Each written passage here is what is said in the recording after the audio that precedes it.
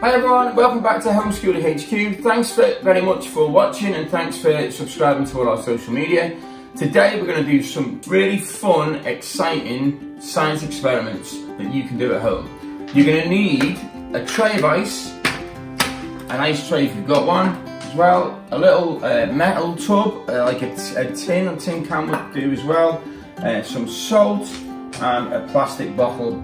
Okay, now go and get all those ready and then come back and watch the rest of our wonderful video. Right, so first of all I'm going to set all the, all the experiments up, let them happen, and then we'll talk about what we find out. So the first one I'm to do is I'm going to take my metal tub, I'm going to put some ice cubes in there, fill lots and lots of ice cubes in there, okay, and then I'm just going to leave that kitchen. Quite warm in here, so I'm just going to leave that for a couple of minutes while we're carrying on talking. The next one, I've got my ice cube tray here. I've left a few cubes of ice in there, as you can see. All right. Now, all I'm going to do, I'm going to take some salt, spoonful of salt. Okay, I'm just going to put that onto the ice cube like so. I'm going to do a couple of them just for experiment's sake. And then I'm going to immediately put this into the fridge, okay, into somewhere cold still.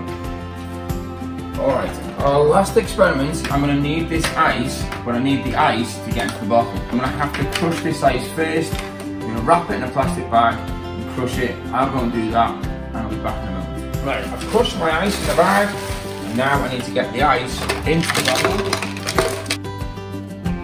Now I've got plenty of ice in there. Just be aware it is cold, so you might be best wearing gloves. I'm to put the, the um, lid back on. A good shake.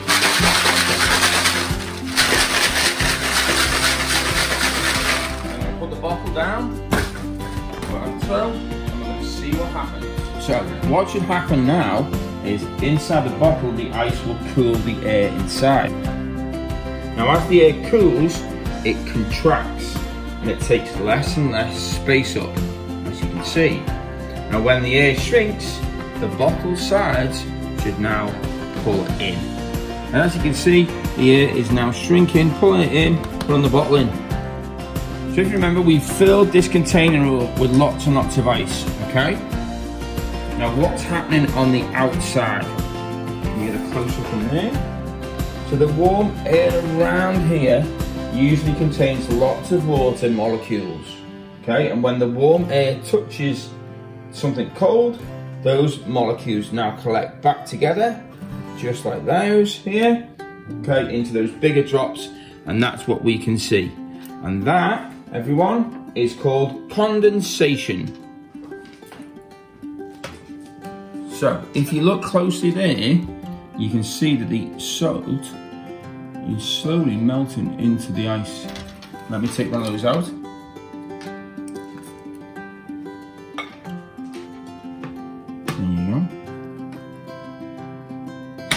You can see the ice is still, the salt's melting through and the ice around it is still frozen. Now that is all down to do with the melting point. So ice does not melt until it reaches zero Celsius, and this is called its melting point. But the salt that I added to the ice, well that lowers the melting point, and the ice starts to melt when it's colder, and the ice around it is still formed. Right, so there's three fun little science experiments that you can do at home using just household goods. Don't forget to post everything you've done on our social media and we'll see you next time on HomeSchoolie HQ. Bye for now.